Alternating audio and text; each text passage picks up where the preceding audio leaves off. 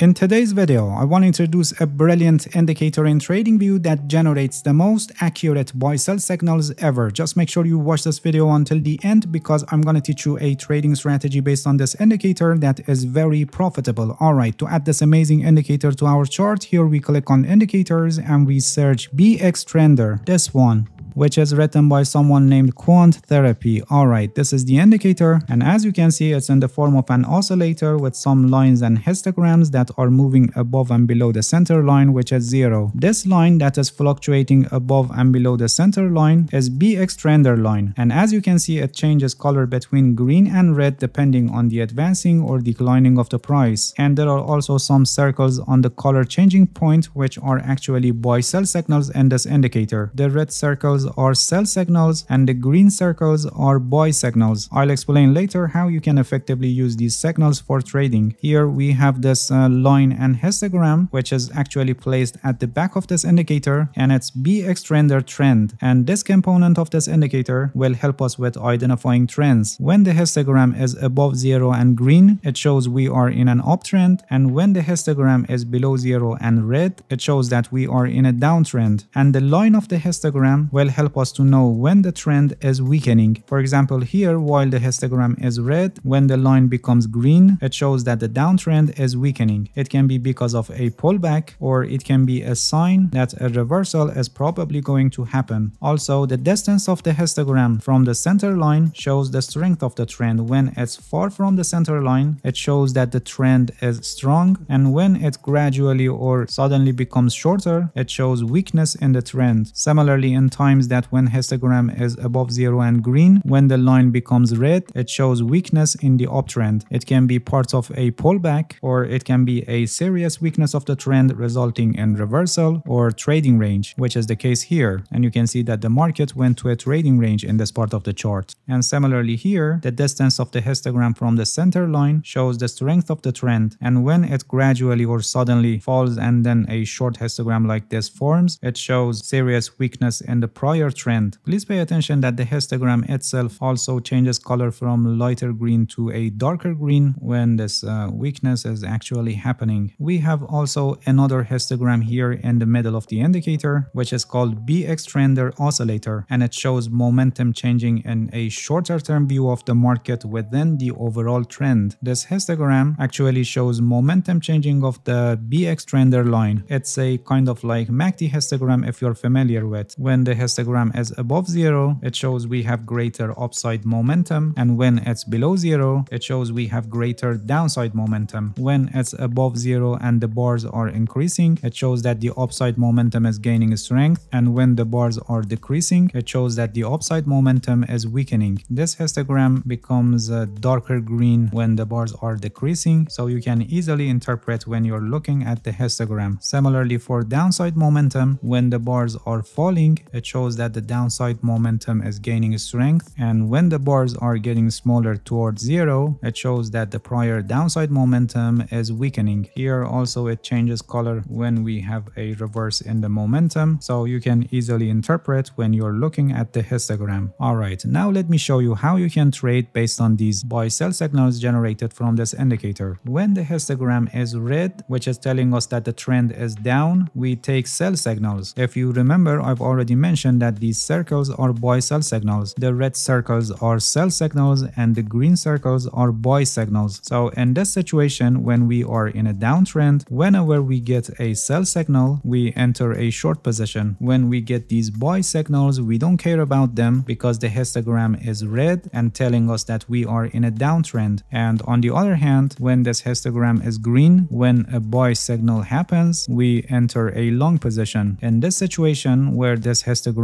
is green telling us that we are in an uptrend, we don't care about these sell signals. But this is not enough because in situations like when a reversal is happening in the market, like this area of the chart, we can encounter false signals like this one or this one or this one. Or in other times when a trend is weakening and the market goes to a trading range like this part of the chart that you can see here. In this situation also we may encounter many false signals like this buy signal here or or this buy signal here or this sell signal here. So we need another layer of filtration that can help us to filter these false signals. So here we click on indicators and we search Andean oscillator this one, which is an editor's picks indicator written by Alex Grover, and this indicator will help us to filter the false signals. A buy signal is confirmed only if the green line is above the orange line, and a sell signal is confirmed only when the red line is above the orange line. For example, here for this buy signal, because green line is not above the orange line, it's not confirmed. Or similarly for this buy signal, it's not confirmed. Or for the sell signal here, because the red line is below the orange line, so this signal is not confirmed here and we don't enter any short position at this point. But for example, for these buy signals, because the green line is above the orange line, they are confirmed and we can enter a long position. And here in the reversal point of the market, you can see that we could easily avoid these false signals because red line is below the orange line. By having another layer of filtration like this, many of the false signals can be avoided, but we may also lose some some good opportunities like this where Andean oscillator doesn't confirm the trade. This is not negative because we're trying to minimize our risk and avoid false signals as much as possible and only take the signals that have higher probability of getting the expected result. Please pay attention that this trading setup doesn't generate 100% guaranteed signals and you need to manage your risk properly. There is a risk management strategy that is called 1% rule and it's a perfect choice for active trading. I have a complete guide on this, the link is is also placed in the description of this video and I highly recommend you to watch it because risk management is the most important factor in your trading success. Alright, that's it. Thank you for watching this video. If you have any questions, feel free to ask and leave a comment for me. I'll answer your questions as soon as possible. If you haven't subscribed to my channel, please subscribe and hit the bell so you get the notifications of my new videos. See you guys in next video and good luck with your trading.